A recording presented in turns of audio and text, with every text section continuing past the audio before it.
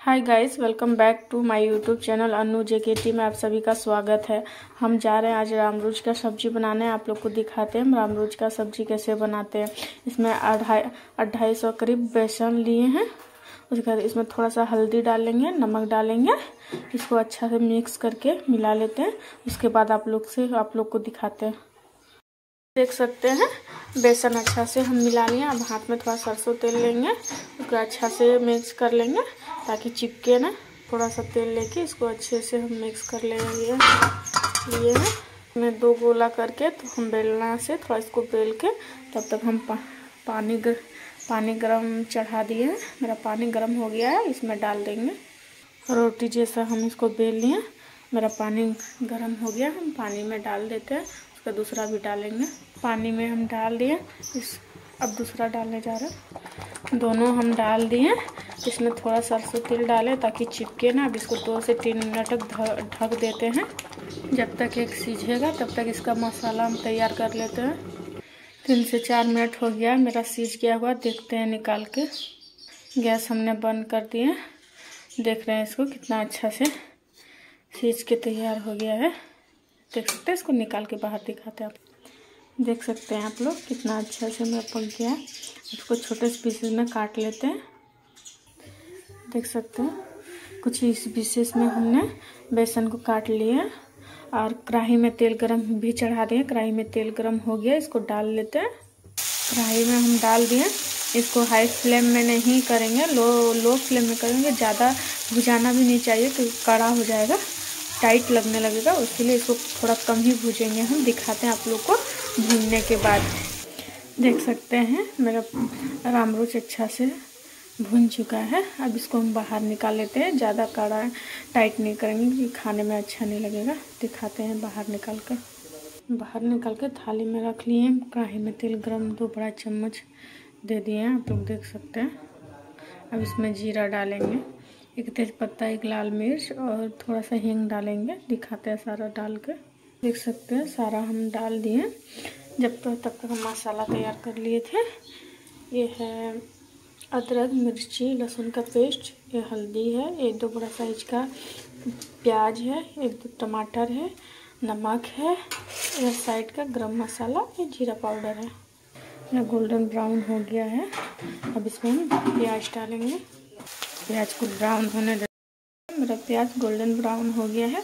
अब इसमें हम डालने जा रहे हैं टमाटर।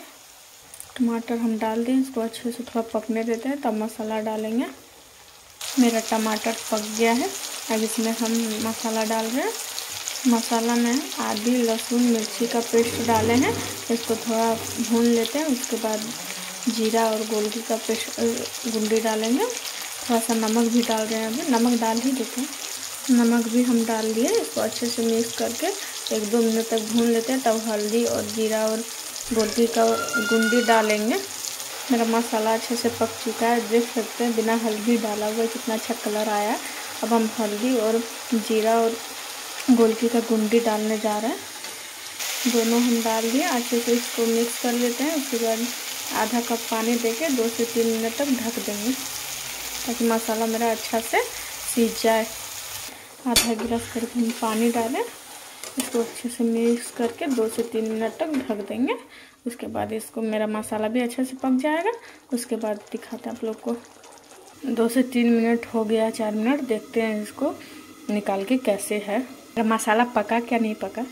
देख सकते हैं आप लोग। मेरा मसाला पक गया है। कितना अच्छा कलर भी आया है। दिखाते हैं आप लोग। थोड़ा इसको मिला के।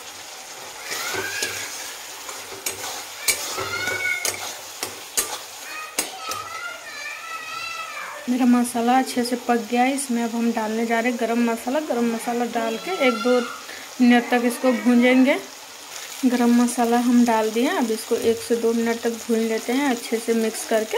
उसके बाद आप लोग को दिखा रहे हैं हम। उसके बाद रामरूस डालेंगे हम। दो से तीन मिनट हो गया है। मेरा गरम मसाला भी अच्छे से भून चुका है।